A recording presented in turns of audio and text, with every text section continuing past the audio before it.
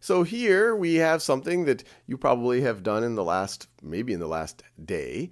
And if we're in a car and we're just making a turn, let's say at a constant speed on a road that is flat, so it's not a banked racetrack or anything like that, what is keeping the car from just veering off in a straight line? And this one's a less, a little bit less intuitive because we don't have any string here that's tethering the car to the center of the curve of our of our road. So what's keeping it from going in a straight line here? Pause the video and think about that. Well, in this situation, and we could think about other forces that are at play, and once again, I'll assume we're in a vacuum, although you could think about air resistance as well, and think about what, what is counteracting the air resistance. It turns out that that's friction. But the other forces at play, you of course have the force of gravity pulling downward on the car, force of gravity. And that's being counteracted by the normal force. That's being counteracted by the normal force. Force, the normal force of the road on the car. But what's keeping the car going in a circle? And actually, let's just do air resistance for fun. So the air resistance, the force of the air on the car, that's going to be pushing in the direction opposite from the velocity of the car. So we could call that, let's just call that force of air. You can't read that. Let me do this. So force of the air, that would be its magnitude. And then that's being counteracted by, and this is a little bit counterintuitive, and this will actually give us a clue on the centripetal force. That is this component, uh, that is going to be counteracted by this component of the friction. So force of friction in the direction that the car is going. Think about it. If you didn't have, if you did, if this was ice on ice, if the wheels didn't have traction, no matter how hard the engine went and no matter how fast the wheels sped, it wouldn't be able to overcome the air resistance, and then the car would decelerate. But these are all the forces that are that aren't acting in a radial direction, that aren't keeping the car on the road, so to speak, or keeping it going in that circular motion around the curve. The one there is once again the force of friction. So this is another, I guess you could say another component of the force of friction. And that's all happening where the tires, where the literally the rubber meets the road. But this right over here, you have the force of friction that is keeping, and maybe I'll call it force of friction radially. Radially, put in parentheses. Force of friction radially that is keeping us going in a circular direction. And so in this situation, that is our centripetal force. Let's do another example. And let's keep going with the theme of cars now. So let's say a scenario where we are on a loop-de-loop, -loop, which is always fun and kind of scary. I have dreams where I have to drive on a loop-de-loop -loop for some reason, and I find it intimidating. But let's think about the car at different points of the loop to loop and think about what is what is what is the centripetal force at different points. So let's first think about this point right over here. And once again, we assume that we are dealing on a we're on a planet. And so you have your force of gravity right over here. Force of gravity. And then you also have your normal force.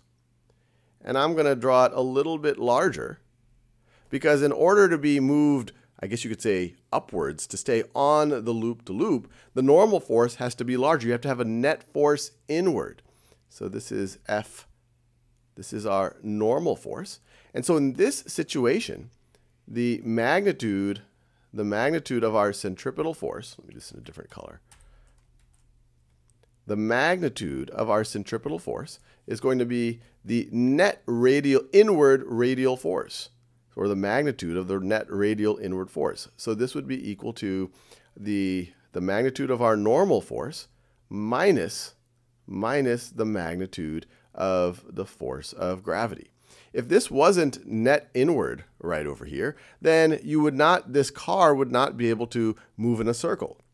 It would just, if this netted out to zero, it would go in a straight line that way. And if this netted out so that it was negative, it would accelerate downwards. So let's go at this point right over here. And we could also think about things like air resistance and friction, where air resistance is pushing back on the car and then the friction is overcoming it. But we're going to focus just on, on the things that are driving us centripetally inward or outward right now. Now, what about this point for the car? Well, we still have the force of gravity. You still have the force of gravity. And actually, I'll make this a little bit bigger. We could, eh, let me, let me put the air resistance there just to be complete. So this would be the air resistance, force of the air, and then that's being counteracted by force of friction, the traction that the car has with the road. Over here, this orange vector, this would now be the, the combination of the force of gravity, and actually you could even consider it the force of gravity plus the plus the force, the air resistance, plus the force of the air pushing back on the car, the pressure of the air. And then that is being counteracted by the force of friction. So the force of friction of the tires pushing, pushing, or I guess the force of friction of the tire between the tire and the road. But neither of these are acting centripetally, acting radially inward.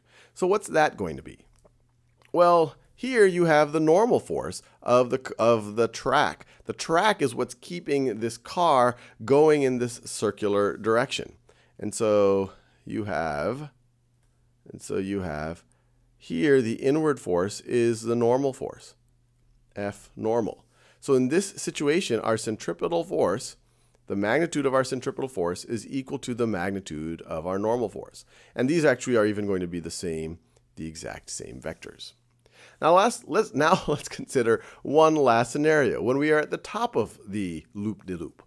Pause the video and see if you can figure that out. Well, once again, we can do things like we could say, hey, look, there's probably some air resistance that is keeping us, that is trying to decelerate us. So that, and then that's being, that's being netted out by the force of friction.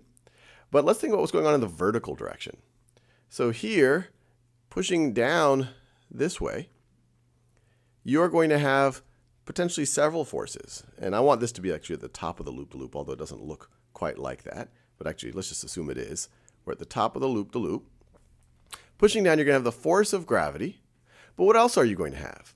Assuming you're going fast enough, the track is also pushing down. The force of gravity plus the normal force. The magnitude of this vector would be the magnitude would be the sum of the magnitudes of the gravitational force and the normal force. And that is what's providing your centripetal force there. And so in this scenario, we would say the magnitude of our centripetal force is equal to the magnitude of our gravitational force plus the magnitude of our normal force. Or we could even think about it as vectors. We could say, hey, look, if we just add up these vectors, these two vectors, you're going to get your centripetal force vector. That's what keeps the car going in that circular motion. Now let's just do one last scenario just for fun. Let's imagine that we have an object in orbit. So this is our planet, or any planet really. And you have an object in orbit, some type of a satellite. I'll draw what we normally associate with as a satellite. But this could be even a natural satellite, a moon for the planet. And what I'm about to say applies to the moon as well.